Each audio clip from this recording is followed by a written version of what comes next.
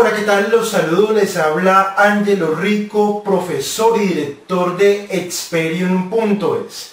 Y hace poco recibí en un correo electrónico la siguiente pregunta. Angelo, ¿qué crees que deberíamos hacer los padres para tener hijos prósperos financieramente?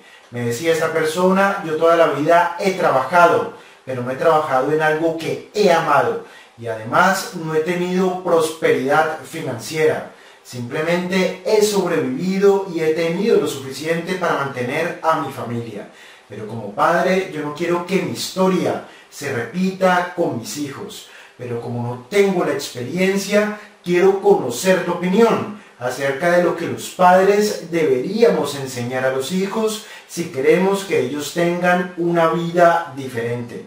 Lógicamente para mí esta pregunta es difícil porque yo no tengo hijos. Pero después de que me la hicieron, me puse a reflexionar y entendí lo siguiente. Entendí lo que a mí me hubiera gustado saber, lo que me hubiera gustado que me explicaran desde pequeño y que no me explicaron. Y como no me explicaron, perdí demasiado tiempo, perdí mucho tiempo en tonterías. Evitó que comenzara rápidamente el camino hacia la libertad financiera. Y yo pienso lo siguiente, si yo tuviera hijos, ellos igual irían al colegio. Y si ellos lo quisiesen, igual irían a la universidad. Yo eso no lo evitaría. Yo no tendría problema con que ellos vayan al colegio y que vayan a la universidad. Pero lo que yo tengo claro y lo que yo siempre comento es que en el colegio y en la universidad lo que aprendemos son cosas muy básicas y que son cosas enfocadas en aprender a trabajar, en aprender a recibir órdenes, cumplir horarios y en trabajar en el sistema de otro.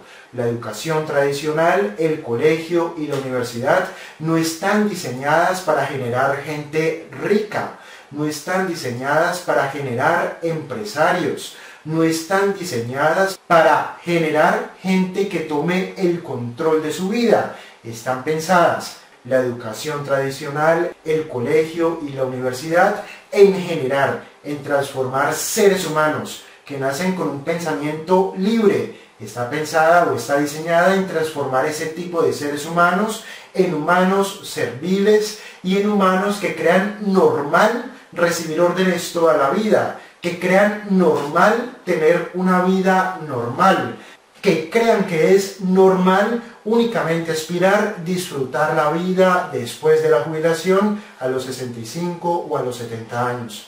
Mis hijos igual irán al colegio, igual si ellos quieren irán a la universidad. Pero desde pequeños yo nunca les preguntaré, hijo, ¿en qué quieres trabajar? Siempre les diré, hijo, ¿qué tipo de empresa quisieras tener? Hijo, ¿qué tipo de empresa te gustaría crear? Hijo, ¿qué tipo de empresa te gustaría construir? Hijo, ¿qué tipo de vida te gustaría tener? ¿Qué lugares del mundo te gustaría conocer? ¿Qué tipo de vida quisieras que tu familia y tú mismo debieran tener desde jóvenes? Cuál es el estilo de vida, cuáles son los lugares del mundo que quisiera conocer, cuál es el tipo de empresa que quisiera crear, cuál es el tipo de vida que debería o que quisiera generar. Ese es el tipo de preguntas que yo le haría a mis hijos. Por lo tanto, muy sutilmente y con cambios pequeños en nuestras palabras.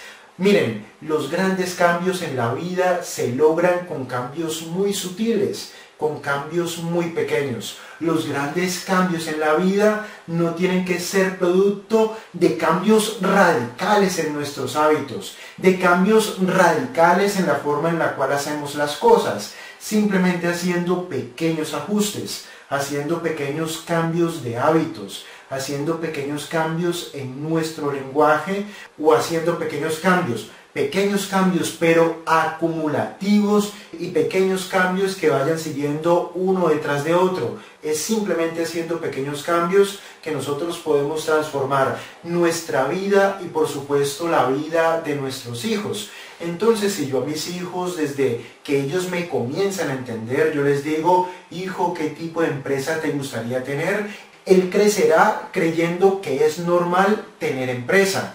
Si yo le digo, hijo, ¿qué lugares del mundo te gustaría conocer? Él crecerá creyendo que es normal conocer el mundo, viajar, conocer lugares extraordinarios, conocer y entender otras culturas. Si yo le digo, hijo, ¿qué estilo de vida te gustaría tener? Él empezará a soñar y él empezará a creer que puede lograr lo que él quiera. Él empezará a creer que es normal tomar el control de su vida. Él se convertirá en un ser libre porque tendrá un pensamiento libre sin ataduras. Él creerá que es normal tener empresa y él creerá anormal ser un trabajador, cumplir órdenes, trabajar en algo que odiamos y aspirar sencillamente a la jubilación. Yo simplemente con ese cambio sutil en una pregunta puedo transformar la vida de mis hijos. Ahora también te puedo decir lo siguiente. Además de guiar o de inspirar a mis hijos a convertirse en emprendedores, a convertirse en personas con un pensamiento libre, a convertirse en personas que entiendan que pueden tomar el control de su vida, que nunca van a tener que trabajar para otro porque van a construir algo propio. Además de inspirarlos y además de guiarlos sutilmente, no forzándolos, además de guiarlos sutilmente hacia el camino de la libertad financiera, en algún momento estoy seguro, ellos por cuenta propia comenzarán a pensar en ideas de negocios, en ideas para ganar dinero. Y aquí viene la segunda enseñanza que yo aspiraría a transmitir a mis hijos. Si ellos en algún momento, estando pequeños, de 7 años, 8 años, 10 años, 12 años, 14 años, si ellos en algún momento por iniciativa propia deciden emprender un negocio propio, que puede ser vender cualquier cosa, vendérselo a los vecinos, venderle algo a familiares. Si ellos en algún momento desean tener su propio negocio, yo también contribuiré hacia crearles el hábito del ahorro la mayoría de los niños y la mayoría de los jóvenes cuando tienen algún dinero extra, ya sea porque hicieron un negocio, porque vendieron algo, porque hicieron algo y ganaron algo de dinero, o porque sus padres mismos les dieron algo de dinero extra. La mayoría de los niños y la mayoría de los jóvenes corren a gastarse todo el dinero que han ganado corren a gastarse todo el dinero extra que han obtenido. La primera fase de la educación es inspirarlos a ser emprendedores, es inspirarlos a ganarse su propio dinero. Si esta educación contribuye a que ellos se ganen su propio dinero, viene la segunda enseñanza. No te gastes todo el dinero, no te puedes gastar todo el dinero, debes ahorrar.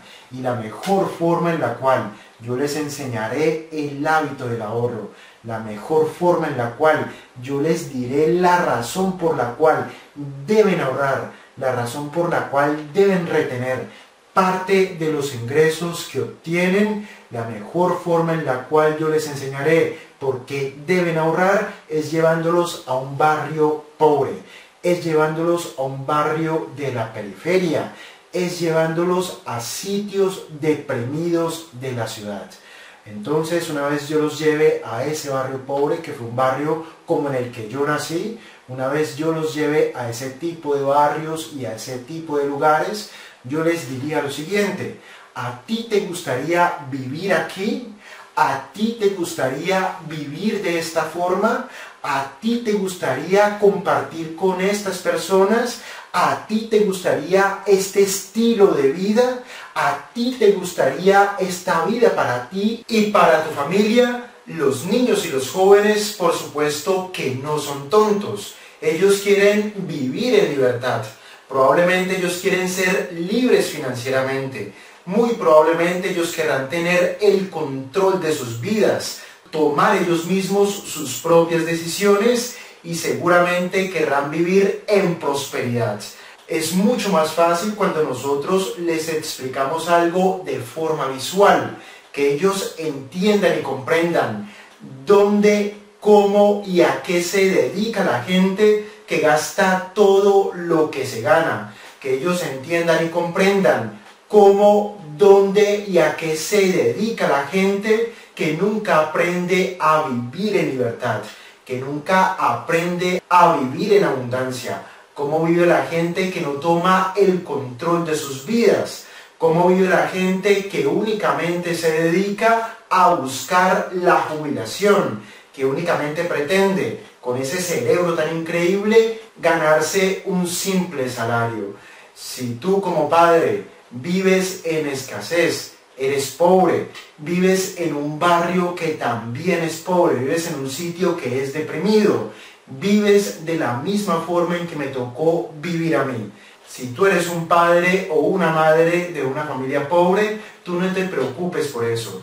Pero lo que sí tienes que hacer es inculcarle a tus hijos los valores de emprender. Es inculcarle a tus hijos el potencial que significa aprender a soñar y aprender a pensar en grande. Tienes que inculcar en tus hijos a través de pequeños hábitos, pequeños cambios en los hábitos, a través de pequeños cambios en el lenguaje y a través de sutiles y pequeños cambios en nuestra forma de pensar, tienes que mostrarle a tus hijos todo lo que ellos pueden lograr convirtiéndose en emprendedores, convirtiéndose en empresarios, convirtiéndose en personas que toman el control de su vida, convirtiéndose en personas que se educan financieramente. No digo que les quites el colegio o que evites que vayan a la universidad, pero lo que también te digo es que tampoco evites que tus hijos reciban la educación que necesitan para ser libres financieramente. Hace poco una madre me llamaba y me decía lo siguiente, Ángelo, con usted quería hablar. Por su culpa mis hijos ya no quieren estudiar. Por su culpa mis hijos ya no quieren ir a la universidad. Por culpa de todo lo que usted explica en internet, mis hijos ya no me quieren hacer caso y ya no me quieren recibir consejo. Yo esperé hasta que esta señora se calmara, por supuesto ella me echó la bronca y cuando ella se calmó yo le dije lo siguiente, perdóneme pero le tengo que hacer las siguientes preguntas. ¿Usted trabaja, cierto? Y ella me dijo, sí, por supuesto que trabajo. A continuación le dije, ¿usted trabaja en algo que ama o detesta aquello a lo que se dedica actualmente? Y ella me dijo con sinceridad, la verdad es que detesto el trabajo que tengo, pero lo tengo que hacer para mantener a mi familia. A continuación le pregunté, perdóneme nuevamente que me meta, pero usted cuánto se gana. Ella me dijo, me gano 850 dólares. Ella me llamaba desde el estado de la Florida en los Estados Unidos. Recuerden que yo vivo en Barcelona, en España. Por supuesto, ganarse 850 dólares en los Estados Unidos es muy poco dinero y por supuesto que en ese momento entendí que era una familia pobre cuando ella me dijo que odiaba a lo que se dedicaba, que ganaba muy poco dinero y que simplemente hacía esa labor porque era su obligación y era lo que necesitaba para mantener a su familia, cuando yo entendí las circunstancias económicas de esa familia, yo le dije lo siguiente, perdóneme señora lo que le voy a decir, usted le puede inculcar a su hijo valores, le puede dar consejos, le puede ofrecer una opinión de cualquier cosa que no sea dinero. Y le voy a decir por qué. Usted no tiene un ejemplo que darle a su hijo. Y esto es duro decirlo, pero a menos que usted quiera que su hijo se pase toda la vida trabajando en algo que odia, a menos que usted quiera que su hijo se pase toda la vida ganando una miseria, y a menos que usted quiera que su hijo se pase toda la vida trabajando en algo simplemente porque le toca, a menos que usted quiera eso para sus hijos, debe evitar darle opiniones o consejos acerca del dinero, opinar o darle consejos acerca de la abundancia, opinar o darle consejos acerca de a qué se debería dedicar. Su hijo debe encontrar su propio camino. Su hijo se debe educar financieramente. Su hijo debe escuchar los consejos de un mentor. Su hijo debe escuchar las opiniones de alguien que tenga lo que él quiere tener, de alguien que haya recorrido el camino que él quiere recorrer. Usted le puede dar amor, usted le puede dar consejos, usted le puede dar el calor de hogar, pero en términos de dinero y en términos profesionales y en términos de finanzas, usted debe permitir que su hijo encuentre su propio camino. Debe explicarle sutilmente las ventajas de emprender, las ventajas de recibir educación financiera, las ventajas de vivir una vida autónoma, las ventajas de tomar el control de su vida y las ventajas de buscar su propia libertad financiera. No debe explicarle cosas extraordinarias, simplemente ofreciéndole consejos sabios, simplemente cambiando el lenguaje cambiando los hábitos y cambiando sutilmente el tipo de pensamiento que usted tiene por un tipo de pensamiento que es realmente el que su hijo necesita. Si su hijo no quiere estudiar no es porque sea mi culpa y de hecho eso no es lo que yo aconsejo. Lo que yo digo es, si te vas a educar para trabajar, edúcate también para ser libre financieramente. Hasta pronto.